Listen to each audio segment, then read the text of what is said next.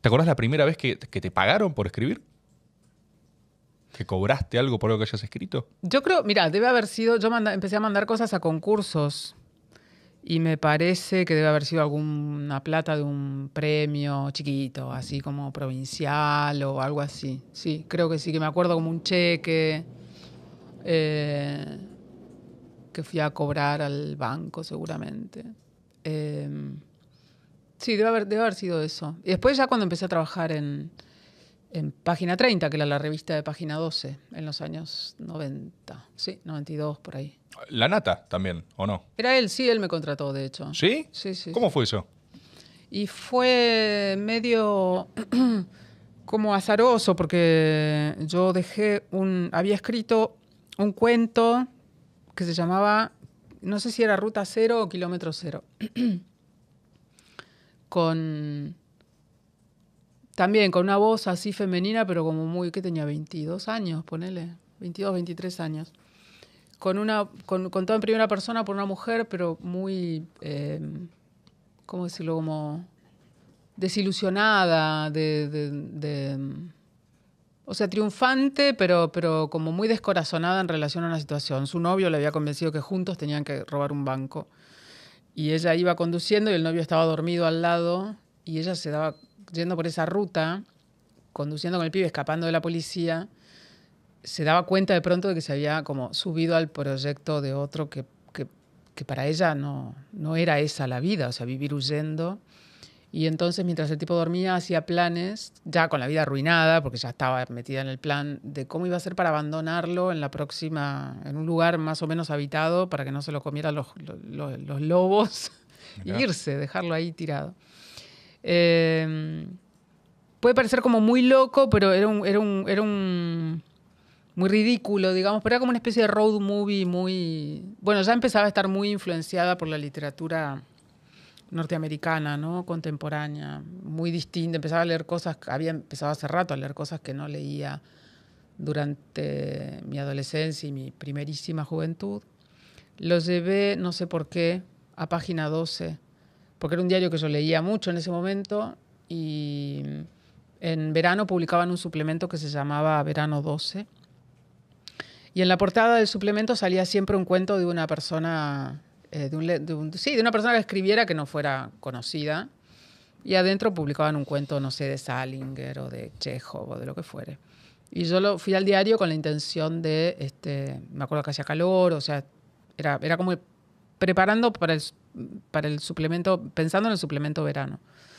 Eh, y, mm, y la persona que me recibió en la recepción, este sobre, me dijo, mira, ese suplemento lo hace Rodrigo Fresán y ya tiene todo el verano completo, o sea, ya está. Está Es una persona que trabaja con mucha anticipación, está todo cerrado. Y me dijo, ¿por qué no lo pones a nombre del director del diario, Jorge Lanata? Y yo lo puse a nombre de Jorge Lanata, pero también pensando que era una botella arrojada Sí, sí, sí. al mar, porque qué director de periódico va a leer la- el sobre una, alguien completamente desconocido. Y como era verano, me volví a Junín, porque yo pasaba los veranos en Junín y los, el resto del año estaba acá en Buenos Aires. Y creo que cuatro o cinco días después, no sé, siempre digo dos, tres días, cuatro, cinco, seis, siete, no sé, eh, llegó mi padre a casa en Junín diciéndome, che, vos estás publicando en Página 12, no nos dijiste nada. Digo, ¿cómo? Y había publicado, estaba publicado el cuento mío en la contratapa de Página 12, que es donde, bueno, ahora escribe, qué sé yo, Mariana Enríquez de Sacomano, en ese momento estaban, bueno, Mariana no estaba allí, pero estaban Fresán, Pauls, eh, Dalmaceto, Soriano, y estaba ahí Leila Guerriero cuento. Y yo dije, ¿y esto? Y entonces, nada, fui al teléfono de mi casa, llamé por teléfono a página 12, que era un deal, ¿viste? Conseguir comunicación desde el interior a Buenos Aires Claro. con los números que no eran centrales, sino que eran 791-7712, 791-7713, 791-7714. Te podías pasar una hora. Un códice. Sí, tal cual. Y eh, me atendieron, me atendió el mismo señor que, al que yo le había dejado el cuento en la recepción. Y me dijo algo así como, ¿dónde te habías metido? O sea, porque la nata te quería preguntar si se podía publicar el cuento y no dejaste un teléfono, no dejaste una dirección, no dejaste nada. Ah, más enigmático también. Era como, uf, ¿qué hacemos con esto? Será, no sé. Y mm, entonces me pasaron con Delia, que era la secretaria de él, y Delia me pasó con la nata, y yo estaba así como, ¿me van a pasar con la nata de verdad? ¿Esto va a pasar? ¿Qué le digo? Y me dijo que fuera a Buenos Aires si podía, que me quería conocer, qué sé yo. Y le dije que sí, obvio que iba, no sé, creo que debe haber salido una hora y media después para Buenos Aires volando. Y, mm, y me recibió, fue muy amable y todo, me preguntó qué quería hacer. Y yo le dije que quería escribir. De vuelta, creo, no, no, no usé la palabra quiero ser escritora. Yo dije, yo quiero escribir. Claro. Y me dijo, bueno, si querés escribir no te puedes quedar en Junín. También una respuesta bastante eh, unitaria, no federal, diríamos, ¿no? Pero bueno, tenía razón. No se escribe desde Junín. ¿Cómo? Claro. Pero bueno, en un punto, digo, había, había ahí una, una idea de que, de que el lugar propicio no era, no era Junín en ese momento. No, y que, y que estés, y que estés inmersa en eso. Que estén en la conversación, en el ajo, etcétera. Y, y yo le dije, bueno, si tenés un trabajo para mí, eh, yo vengo, pero no voy a venir a, a Buenos Aires a vender tapados o ropa en un shopping y escribir en mis ratos libres porque ese es el camino de la perdición. Bien, sólido también. Sí, pero te digo, son respuestas que yo no sé cómo me atreví a dar en, ese- en esos momentos realmente. Que es más impulsivo, lo sentís como. Está perfecto. Será ella un invento, digo, porque no, yo digo, ¿de dónde me sale a mí esa, esa, esa cosa de, ¿no? Como Sí, pero es clave, el otro te está diciendo- El gallito Leila Sí. Guerriero. En junio no te puedes quedar y bueno, ¿qué, qué, qué- qué ofreces entonces? Eh, Eh, Eh, te me venís encima, Eh, nena. ¿Qué te pasa? Y bueno, nada, este. Me dijo, ¿tenés algo más escrito? Le dije, sí, tengo una novela. Mentira, no tenía nada. Uf, esa fuiste a fondo, ¿eh? No, Tengo no, una no, novela, es mucho. Tengo una Sí. novela, porque yo sabía. Novelón. Porque él me mencionó, en ese momento había una cosa buenísima que se llamaba Planeta Biblioteca del Sur, que editaba Juan Forn, en la cual habían salido libros como Historia Argentina de Rodrigo Fresán, que para mí era como una Biblia. Cuando yo leí ese libro dije, ¿se puede escribir así? O sea, de verdad, con, este, con esta cosa desfachatada y, y- y- y completamente fresca y repleta también como de una inteligencia, no sé, tan contemporánea, con un, con un, con un aroma tan, sí, a gasolinera, ¿viste? O sea, todo lo que se leía era como muy perfumadito y qué sé yo. Y esto era impresionante. y la nata, por supuesto, tenía relación con Forn.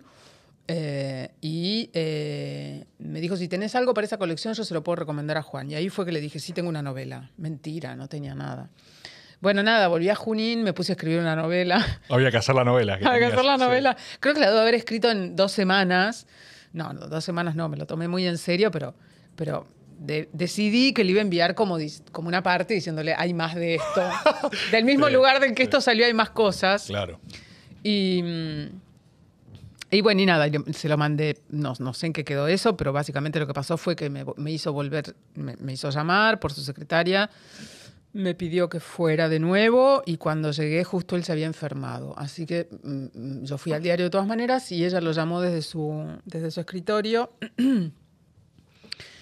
y atendió él y me dijo, tengo un trabajo para vos. Y yo me quedé medio dura y, me dij- y le dije, bueno, ¿de qué? Y me dijo, como redactora en página 30. Así, pero no era como ni pasante, ni para que vengas a hacer la agenda, ni redactora en página 30. Y yo le dije, pero yo no soy periodista. Y me dijo, sí sos, todavía no te diste cuenta. ¿Y cuándo empiezo? Ayer. Así que fue como, ¡ay! Cuidado con lo que querés porque puede pasar. Y le dije, no, bueno, dame tiempo, yo tengo que ir a Junín de vuelta y traer ropa. O sea, No. como, claro, no, no, sí, sí. Me dijo, bueno, dale, el lunes de la semana que viene, pero no más de eso. Bueno, bueno, no sé qué. Me acuerdo que fue súper generoso con la paga, súper, pero así como, no sé, yo empecé a trabajar y tenía un sueldo, creo que igual a la- al de la persona que estaba trabajando ahí desde hacía, bueno, conmigo fue, fue muy justo, no sé si fue justo con otra persona, digamos, pero... No, este, Caía bárbaro los compañeros ahí. Claro, sí, un motivo más para odiarla a ella, que es como un paracaidista, paracaidista gaucho, que no sabemos quién es, ¿no? Que llega con sus con sus este, pretensiones. Y bueno, y nada, eh, llegué un lunes, me- pasé por la oficina de él. me dijo, te voy a dar un solo consejo, defendete como puedas y las puertas que no se abran patealas para que se caigan o bajarlas a patadas. Y me fui con esas dos cosas, ¿dónde me estoy metiendo? Qué mística hermosa que había en esa época. Todos los testimonios de la nata en esa época es un, es, es un clima de guerrilla periodística. Ese patea puertas y defendete. Sí, ¿Qué estamos sí, haciendo? Estamos como- escribiendo. Tranquilo, Jorge. Sí, no. Yo, no, o sea, no, no, Aparte del periodismo que yo iba a hacer ahí, yo dije, ¿qué, qué me van a hacer hacer? O sea, ¿no? Claro, ¿qué, pasa? ¿Qué es lo que pasa a andar a exactamente? Bosnia. Están todos sacados. Es buenísimo. Es buenísimo. No, y después la redacción era. Fue, fue, fue genial porque, digo, los editores eran Eduardo Blaustein y Rodrigo Fresán, de texto, ¿no? Después estaban la parte de diseño, la parte de fotografía. Pero toda persona que entraba ahí era gente que ya era genial y, bueno, Adriana Lestido, Rafael Calviño, este, Miguel Briante, eh, Martín Caparrós, Maitena, que llevaba sus, sus dibujos. eh, y era Guillermo Sacomano, que me acuerdo que Sacomano fue tremendo porque entró, y yo cuando vi a Guillermo Sacomano, él era guionista de buena parte de las historietas que yo leía de chica y, y no tuve mejor idea que decirle algo así como, como eso, como, como que lo admiraba mucho porque de chiquita le dije eso, leía, y claro, él sintió que yo le estaba diciendo que era un viejo. O sea, él dijo, ¿qué edad tengo entonces si esto está pasando? No, fue no sé, no me acuerdo que me dijo, pero fue como una ofensa. Como, Ah, tranquila, está bien. y- no, sí, en- pero en ese momento me dio como mucho pudor. ¿Viste cuando querés hacerle a alguien un regalo Sí. y en realidad le estás regalando su kriptonita que le decís, o sea, con esto te destruyo? Le entró así un el- horror. Y bueno, y nada, y la verdad es que esos dos editores fueron geniales. Rodrigo, hasta el día de hoy, es una persona que, o sea, yo, mi, mi- mi lectura de norteamericanos contemporáneos vino completamente traccionada por Fresán eh, y tantas otras lecturas, ¿no? Pero, pero él era un, un- editor generoso, bueno, que sí había encontrado esa manera de, de pronto lo que había intentado este tipo, como de llevarme más allá, pero de una manera un poco más ruda quizás. Rodrigo era como, no sé, ingenioso, chistoso, podía, podía llevarte más allá de tirando la cuerda del humor, ¿no? Claro, como clave. riéndose un poco de vos y de él y de toda la situación y qué sé yo. Eh, y eso, eso era sensacional, eso era sensacional. Y bueno, nada, entré ahí y desde el primer día me, me dieron un mes y medio de tiempo para hacer una nota y yo me malacostumbré ya de chiquita, digamos. O sea, yo ahora no te bajo del, de los tres meses para hacer. Claro. Para, para, para. No te vayas. Mira lo que es esta placa. Mira lo que es. ¿Sabes que podría ser dorada? ¿Y sabes por qué no es dorada? Porque vos no estás suscrito a este canal. Si vos te suscribís, vamos a llegar. No te vayas. No, te, no me dejes morir. No, no, no lo hagas. No.